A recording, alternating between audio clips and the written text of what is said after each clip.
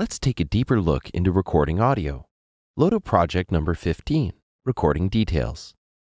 In the previous chapter, we recorded guitar.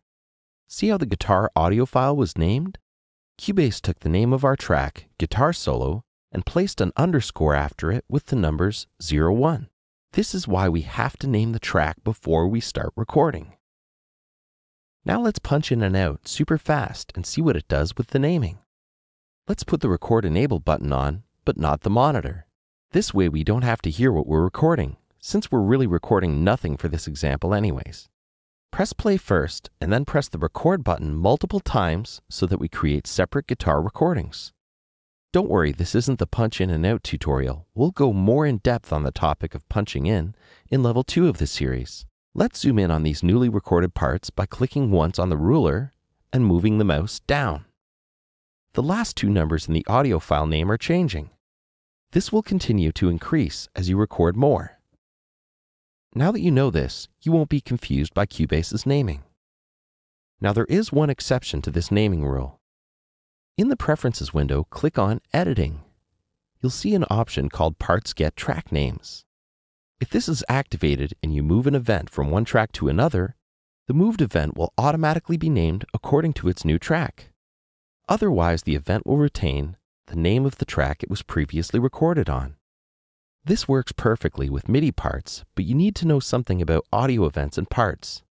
Make sure you see the chapter called Events Parts and the Sample Editor in level 2 of the series for a super clear explanation. Basically, an audio event is a piece of audio like this drum loop. When I move it from track to track with the Parts Get Track Names option turned on, the audio file does not change name.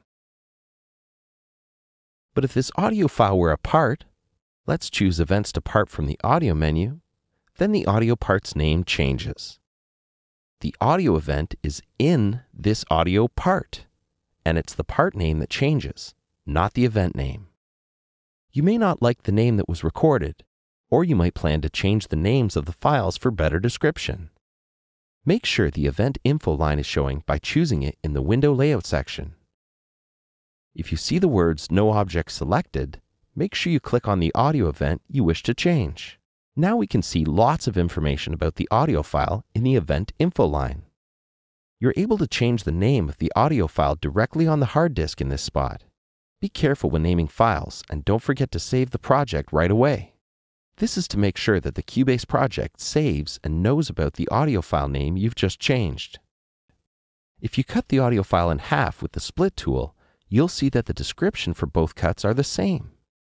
Let's change the description for the first one and then the second one. Using the description is helpful if you have an audio file and you're using different pieces or cuts of it along your timeline. Just another handy feature to allow your work to be more descriptive. Using the description is helpful if you have an audio file and you're using different pieces or cuts of it along your timeline. Just another handy feature to allow your work to be more descriptive. You now have a better idea of how Cubase names and manages its recorded audio files. File management is 90% of the battle when recording in audio programs. Just a small note when I cut the audio file in half in Cubase, the audio file on the hard drive is unaffected. Cubase just reads the audio file from the hard drive and then stops reading.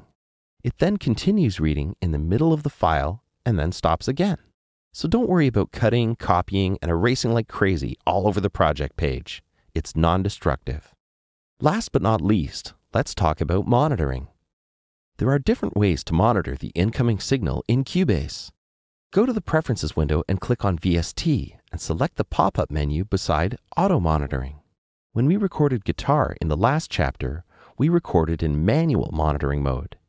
This means that we get to choose when we hear the incoming signal at any time, either while Cubase is recording, playing back, or when stopped. While record enabled is exactly like it says. Whenever you press the record enable button on the track, the monitor button turns on too. While record running means that if you press the record button on the transport bar, the monitor button will come on for the track that has the record enabled button on. Tape machine style is a popular one. This emulates standard tape machines. Input monitoring in stop mode and during recording, but not during playback. So when you play back, you hear what is on the track, but when you stop or record, you hear the instrument coming in from the inputs of your audio card. This is perfect for a vocalist recording overdubs. Now you have a pretty good understanding of recording. Now let's look at looping.